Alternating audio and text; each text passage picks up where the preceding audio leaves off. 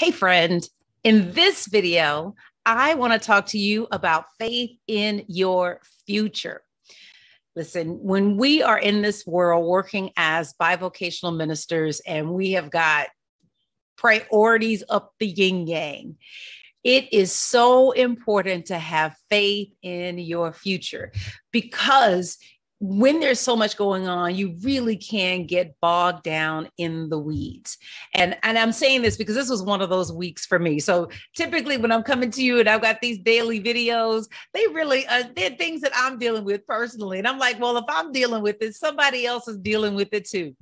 But you want to have faith in your future versus fear about your current situation. You want to stay present to where it is that you are going. I was studying, I'm, I'm, doing this personal study right now of the book of Revelation. And one, and I'm working with Joseph Murphy's Pray Your Way Through It, which is a remarkable commentary on the book of Revelation.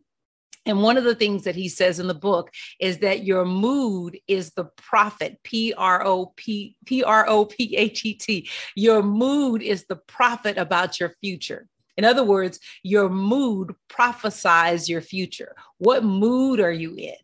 And so it really struck me, Sherri, you got, regardless of what's happening, regardless of the commitments that you have, the things that are pulling on your time, you have to have faith in your future.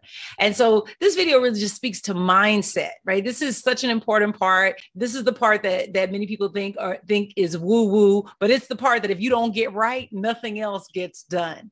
And so, you know, when I work with ministers who coach, many times one of the things that we've got to address is that mindset.